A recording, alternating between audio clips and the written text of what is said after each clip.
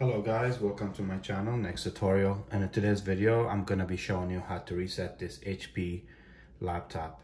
This one is called HP EliteBook and it's a very easy steps on how to get it resetted. Follow the steps, you won't have any issues. First thing, you wanna make sure the device or the laptop is completely turned off.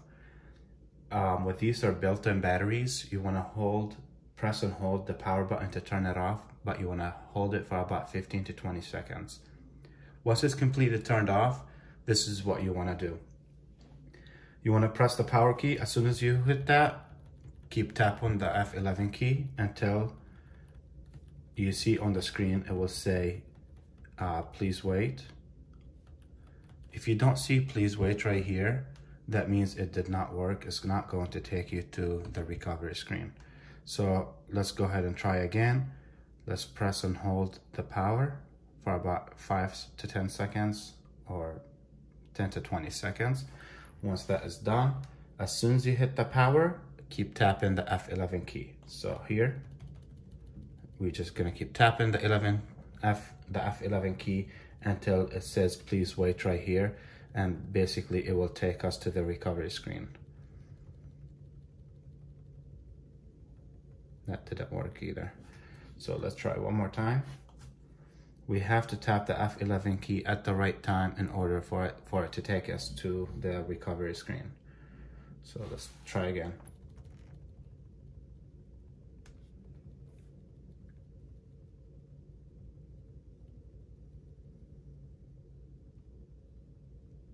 Right there. You see it says please wait. That means it's going to take us to the recovery screen in order to reset this PC.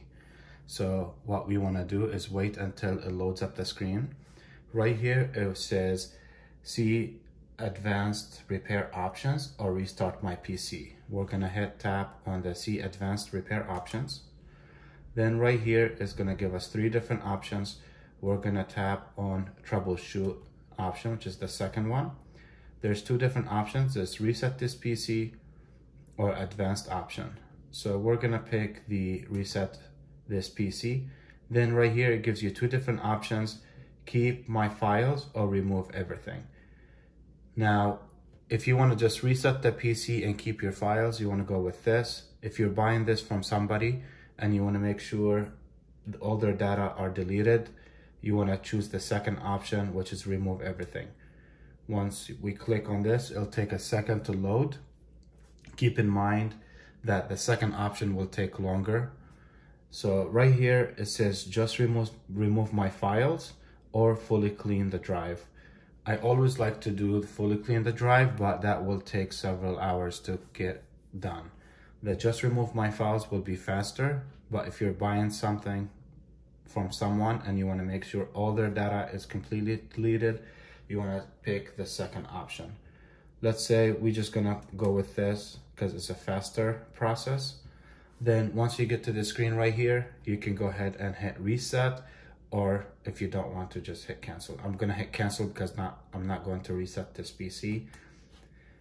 This is it guys. This is concludes my tutorial for today. If you found this help video helpful to you, make sure to hit the like and subscribe to my channel. And thank you guys for your support. I'll see you next time.